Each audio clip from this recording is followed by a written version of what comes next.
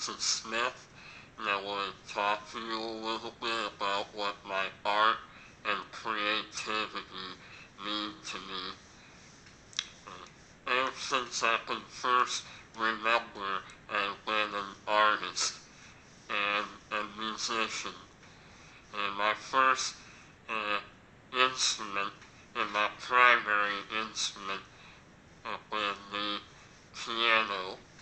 And going to play a little something on the piano for you.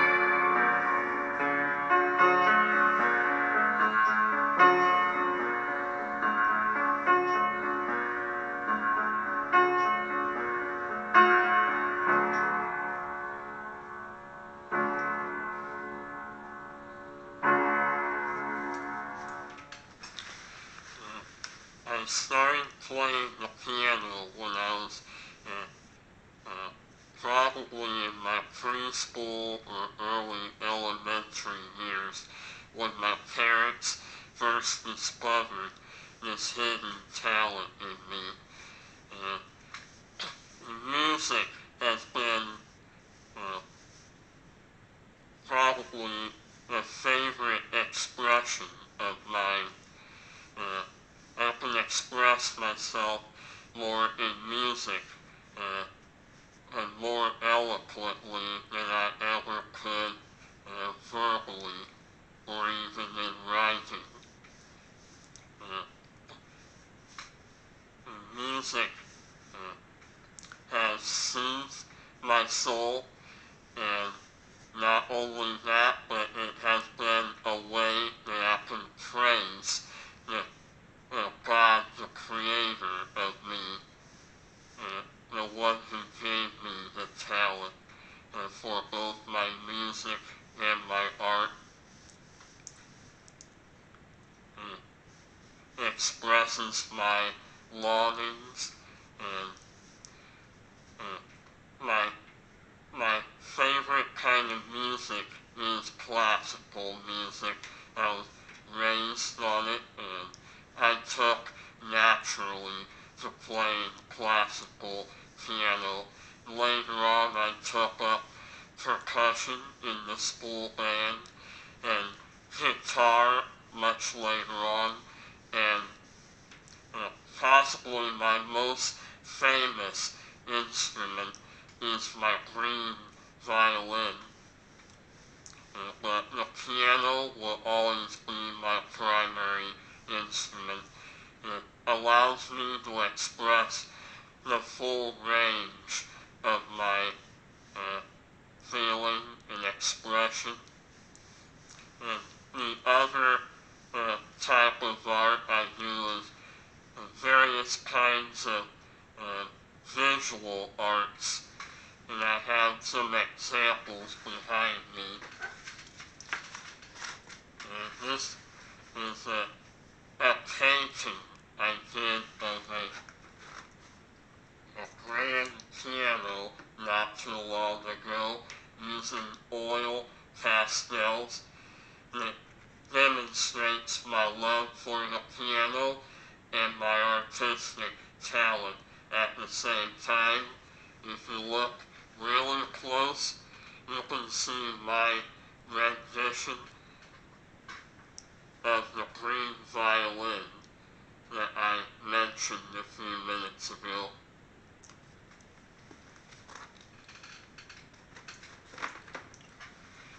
Uh, over the years, I have developed my artistic talent. My original form of art is uh, drawing with pencils and ink, and later on colored pencils. In recent years, as I began studying craniofacial development and craniofacial anomalies at King's College, London, and then later on at the University of California, San Francisco, I discovered a wonderful way that I could use my artistic talent in the service of the craniofacial medical and scientific community.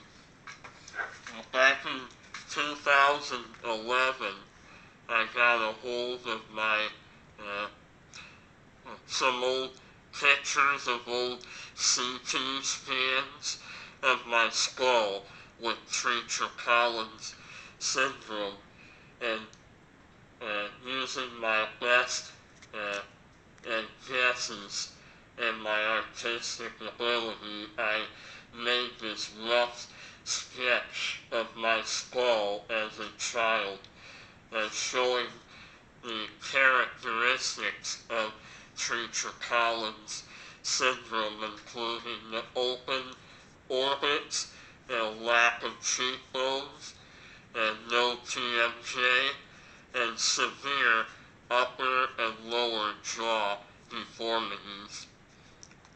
And, and related to that, I more recently and drew this sketch of the upper airway uh, obstruction in Treacher Collins syndrome for one of my uh, recent lectures on the upper airway in Treacher Collins syndrome.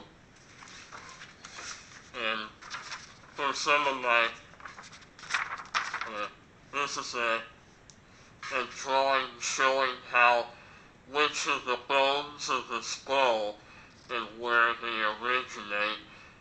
The blue area uh, originates from the neural crest cells of the embryo, and it's where most of the craniofacial anomalies originate, and the other half of the skull originates in the paraxial mesoderm of the embryo. So I drew this for uh, a recent uh, chapter that I have contributed to an upcoming book on Treacher Collins syndrome. So these are just examples of how I and